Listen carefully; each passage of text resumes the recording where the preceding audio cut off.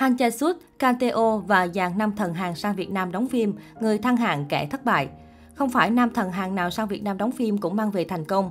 Không phải là những bộ phim chỉ mượn vài bối cảnh Việt Nam, còn câu chuyện vẫn 100% Hàn Quốc. Kẻ thứ ba, Oppa Phiền Quá Nha và Tuổi Thanh Xuân là những tác phẩm hợp tác Việt-Hàn được ra đời với danh xưng phim Việt Nam. Điểm trùng hợp là cả ba bộ phim này đều có sự góp mặt của nam chính là Hội Nam Thần Kai Biết. Đáng tiếc trong số này chỉ có một nam thần duy nhất là nhận được sự thành công khi ra mắt ở thị trường Việt.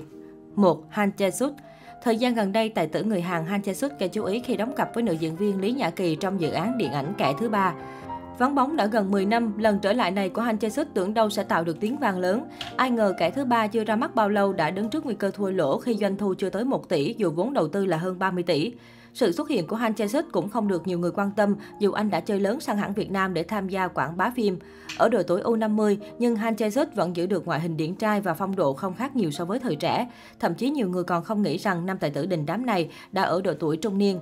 Sinh năm 1973, Han Chae Suk từng là nam diễn viên quen mặt với khán giả xem truyền hình Việt Nam nhờ sự thành công của các bộ phim đình đám xứ Hàn cách đây hơn 20 năm. Nếu như không dính phốt trốn nghĩa vụ quân sự thì có lẽ sự nghiệp điện ảnh hiện giờ của Han Chae Suk cũng sẽ ngăn ngửa Sang Dong Gun.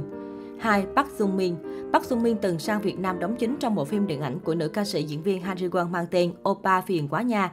Phim xoay quanh cuộc sống nhàm chán của một nữ nhân viên văn phòng, bỗng nhiên bị xáo trộn khi hoán đổi thân xác với một idol Hàn Quốc đình đám.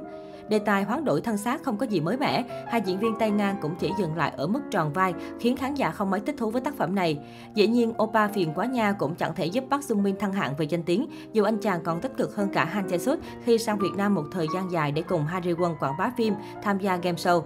Park Jung Min sinh năm 1987, trước khi gia nhập làng giải trí xứ Kim Chi năm 2005 với tư cách là thành viên của nhóm nhạc nam SS501. Park Jung Min là sinh viên của Đại học Hàn Quốc, một trong những trường đại học tư thục danh giá bậc nhất xứ Hàn.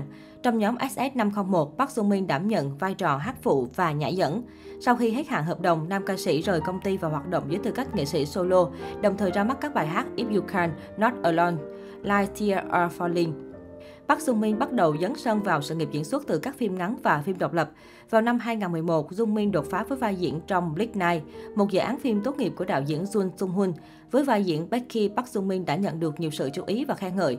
Những tưởng con đường diễn xuất sẽ rộng mở nhưng xuất phát điểm với một vai diễn quá ấn tượng khiến Park Sung Min chật vật tìm kiếm sự đột phá cho chính mình. Sau đó anh chỉ xuất hiện trong các vai phụ nhỏ, không thể khiến khán giả nhớ mặt và cái tên Park Sung Min cũng dần mờ nhạt trên màn ảnh. Năm 2015, Park Sung Min vươn lên với vai phụ trong Office. Bộ phim được trình chiếu tại Liên hoan phim Cannes cùng năm, đánh dấu bước ngoặt cho con đường diễn xuất chuyên nghiệp của Sung Min. Sau nhiều năm kiên trì, Park Sung Min đã đứng được ở nơi mà mọi người có thể nhìn thấy. 3. Kanteo Kanteo có tên thật là Kim Jun Hwan, sinh năm 1994. Năm 2011, Kanteo và bốn chàng trai khác được đào tạo toàn diện các kỹ năng về ca hát diễn xuất trong 2 năm sau khi vượt qua chương trình Asterix của Fantasio Entertainment. Sau khi kết thúc quá trình đào tạo, cả năm người được cơ quan quản lý ra mắt nhóm nhạc thần tượng Fire Price. Song song quá trình ca hát, Kanteo bắt đầu tham gia một số phim truyền hình như loạt phim Hoa hậu Hàn Quốc với những vai phụ trong năm 2013-2014. Tại Hàn Quốc thời điểm đó, Kanteo vẫn chỉ là hạ cát mờ nhạt trong rừng trai xinh gái đẹp. Đóng vai phụ nên vai trò diễn viên cũng chưa được khẳng định rõ. Cũng trong năm 2014, Kanteo được mời vào phim Tuổi Thanh Xuân, hợp tác Việt-Hàn đóng cùng Nhã Phương. Từ đó tên tuổi của anh được biết đến ở Việt Nam. Trong tuổi thanh xuân, Kanteo vào vai nam ca sĩ Junsu, trẻ trung, năng động, hài hước. Vai diễn không đặt nặng nội tâm nên nhẹ nhàng và không quá sức với Kanteo. Anh nhanh chóng chinh phục được các cô gái Việt vì đúng hình mẫu soái ca trong lòng họ. Trong tuổi thanh xuân 2, mặc dù phim nhận được lời khen chê khác nhau nhưng Kanteo vẫn là một trong những tâm điểm thu hút sự chú ý, được sự ủng hộ bởi lượng người hâm mộ đã có trước đó. Vẻ ngoài điển trai, sự thân thiện đã giúp Kanteo chinh phục khán giả Việt vốn sẵn dành tình cảm cho các nghệ sĩ Hàn Quốc. Lượng người hâm mộ của Kanteo tăng theo thời lượng phim phát sóng và thông tin về anh cũng được biết đến nhiều hơn.